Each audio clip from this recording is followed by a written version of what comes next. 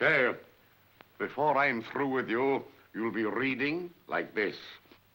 Here is uh, uh, Hamlet's soliloquy. Oh, he always sits down for this. He always sits very much. That's right, miss.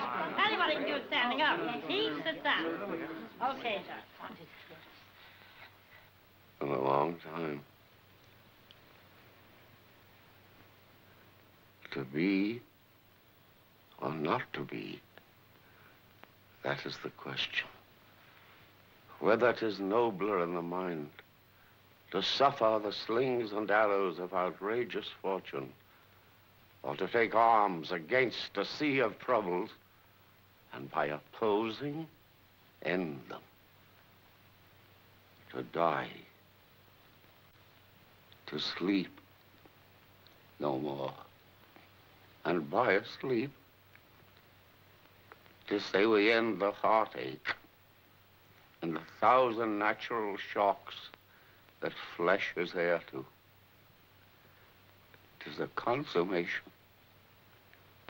devoutly to be wished. To die. To sleep.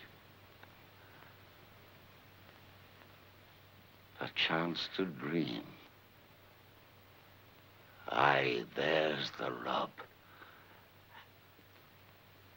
Um, there's that more, but uh, I'll give you sort of an idea.